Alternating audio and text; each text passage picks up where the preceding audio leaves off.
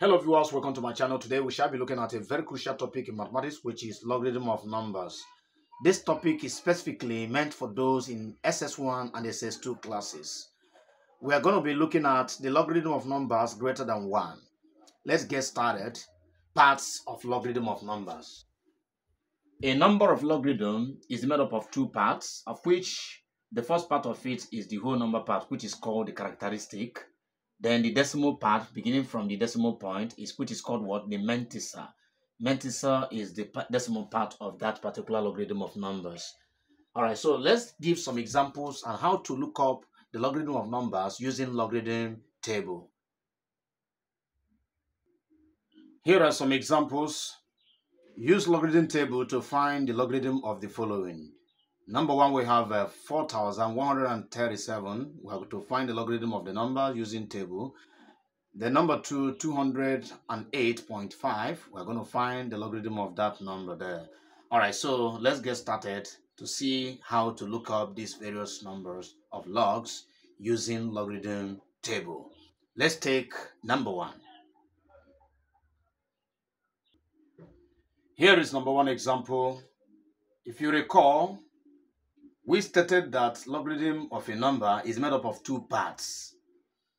That is the characteristic part and the mantissa as we exemplify. So to get the logarithm of this number using table, the first thing we get is the characteristic. What is the characteristic part of this number? Characteristic. If you remember how to find the numbers in standard form. How to express a number in standard form. For example, you have a number like this, 4137.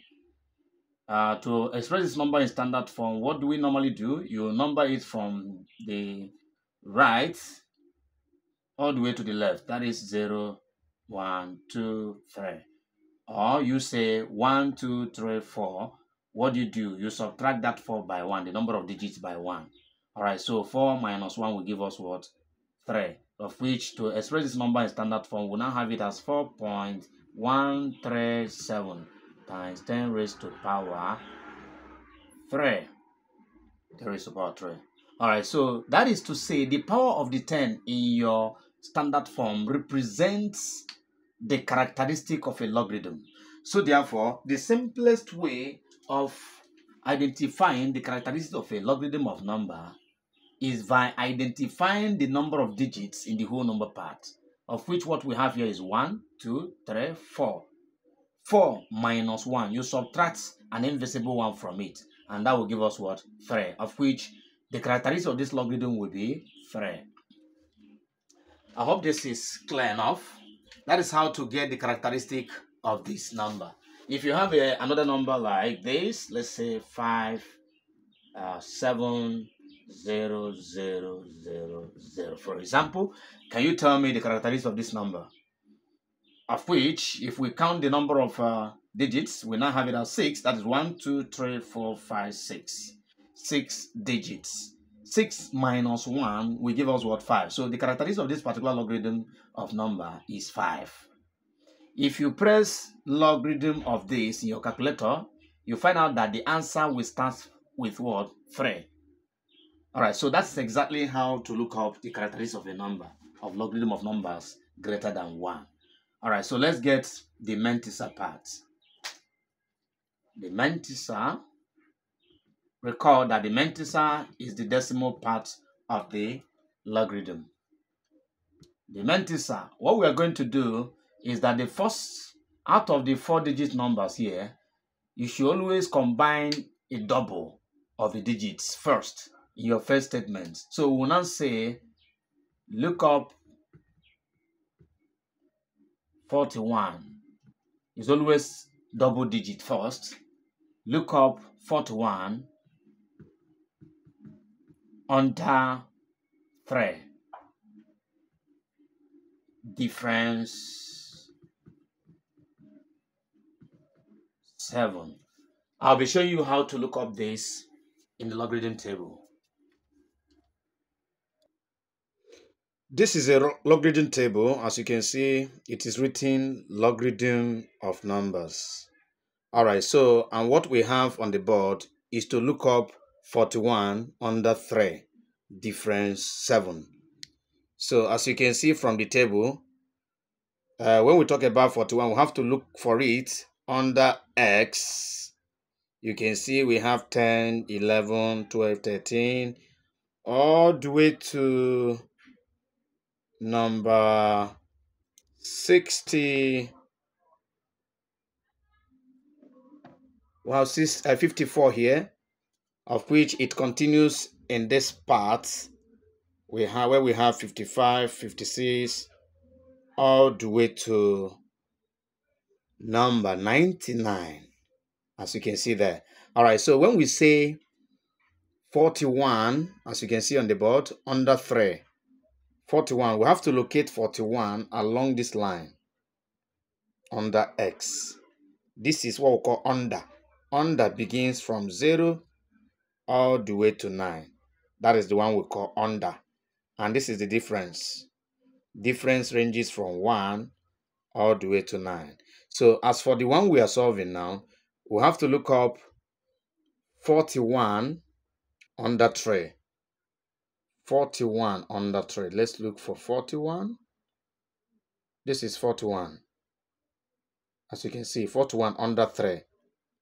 You can see this is under 0, under 1, under 2, under 3. This is under 3. So under 3 will be along this side. So of which we can say that 41 under 3 will give us 6160. As you can see, 6160. Let's put it down. 6160 that will give us 6160. 6160 plus, because you should always add the difference, plus 41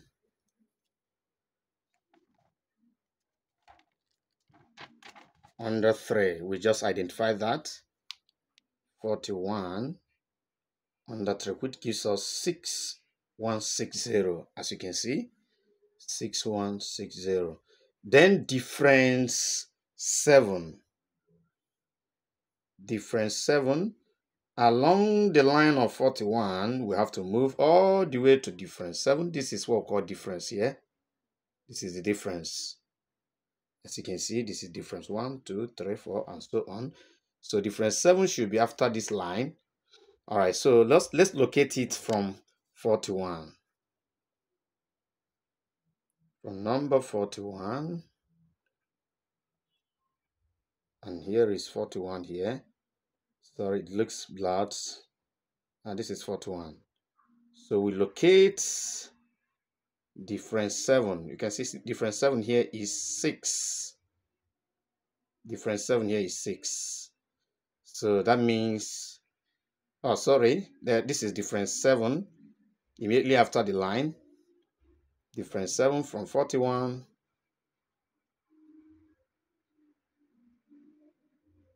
and that is 7 difference 7 is 7 here. Difference 7 is 7 so we add 7 to this number. What we now have eventually when you add the two of them that will give us six one six zero uh, rather six seven this time around. All right so this is what we'll have when we combine the two together.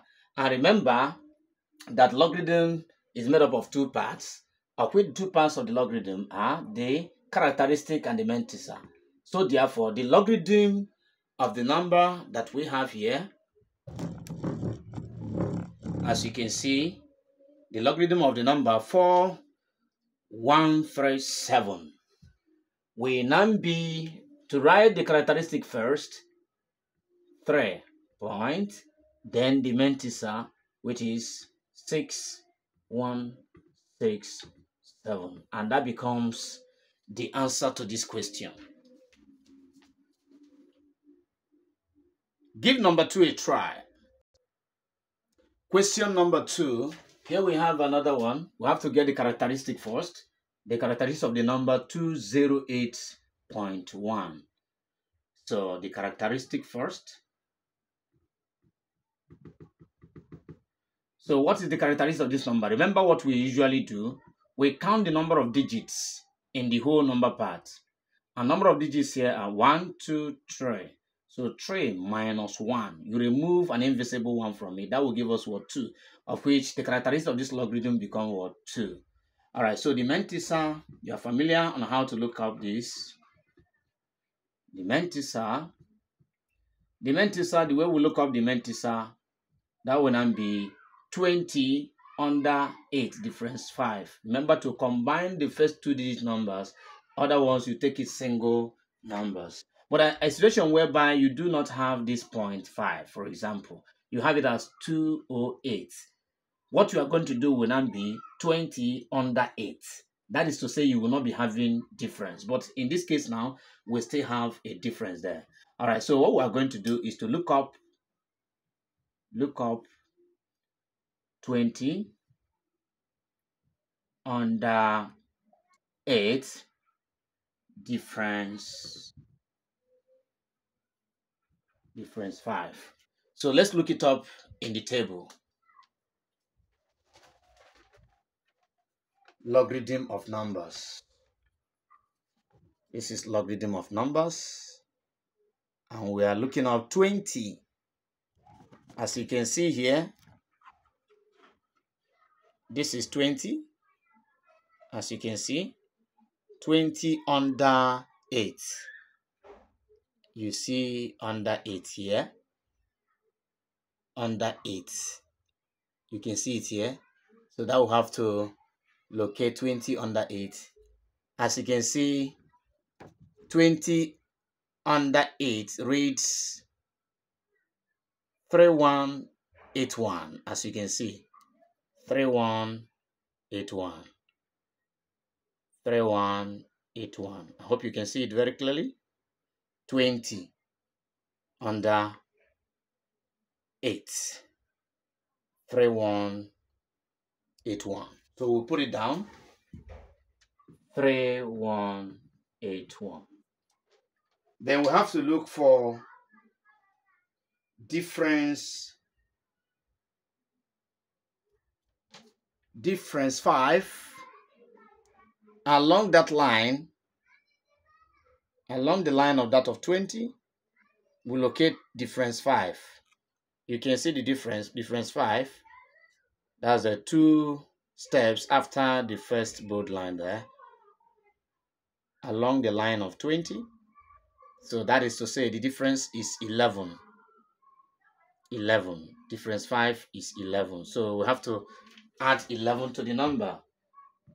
Plus 11 and when you add 11 to that number that will give us 3 1 9 2 now therefore the logarithm of 208.5 will now give us the characteristic first which is 2 point then we'll now put the Mantissa part which is 3192 this is exactly how to look up logarithm of numbers using table. I hope this is quite clear.